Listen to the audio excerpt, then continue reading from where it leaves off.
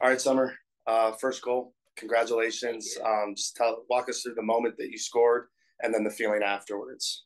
Yeah, um, I think before the goal happened, uh, Audrey played me one, and I thought I had a sitter, and I missed it. So I knew after that I was going to put myself in any opportunity to get that goal back.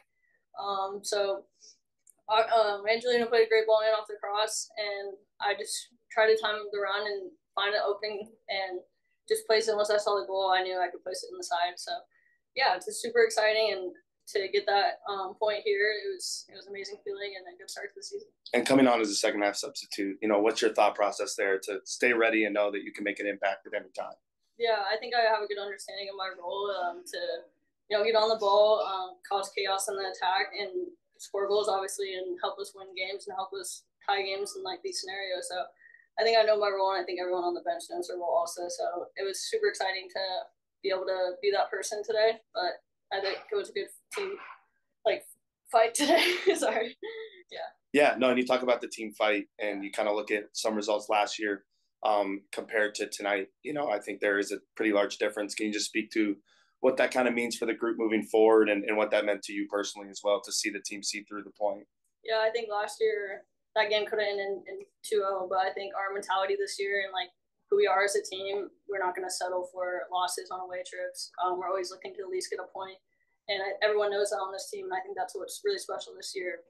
And what we really lacked last year, we had a lot of losses, but not a lot of ties, and those points matter coming into playoffs. So I think as a whole, we have a good understanding of what we need to do on away trips, and especially in scenarios when we're down to 10 players. And uh, we'll go ahead to Michael Citro on the Zoom. Uh, thanks for your time, Summer. Congrats on the goal. Uh, you touched on this a little bit, but uh, how much relief do you feel uh, scoring that goal after uh, not being able to finish the, the previous chance uh, from Adriana? Yeah, I think it's for me. Um, I always know that you know it's hard to get opportunities in this league, and after I missed that one, my mindset really was not to shut down, but find the next moment, and the next moment you're going to capitalize on it. So I think that was my moment, um, and I'm lucky to get get another opportunity on goal. So for me to have the confidence in myself. Um, it felt really good and really special that I could show that today.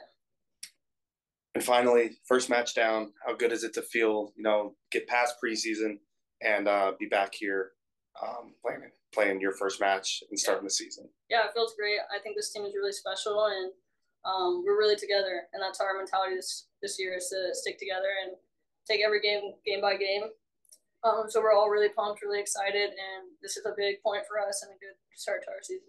And one more here from uh, Michael Citro. Go ahead, Michael.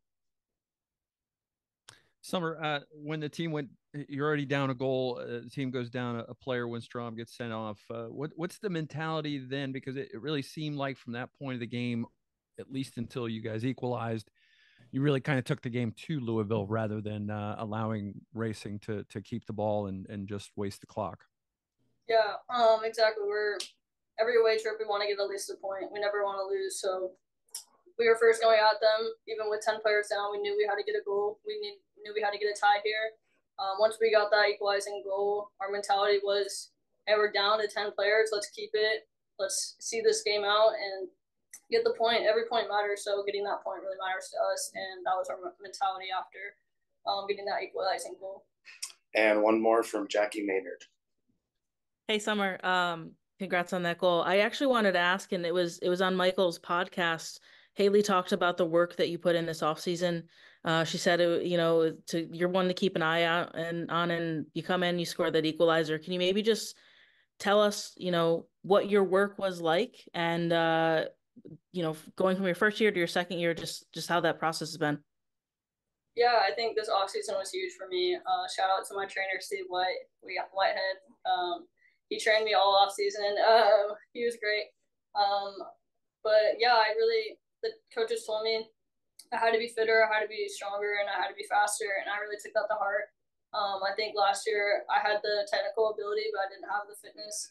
I didn't have the strength, so I really leaned on that this year. Um, and it really shows in my game now. I'm able to close players down faster. I'm able to get in behind defenses. So I'm really excited for that, and I definitely did put a lot of work in. So I'm glad to see it show in the first game.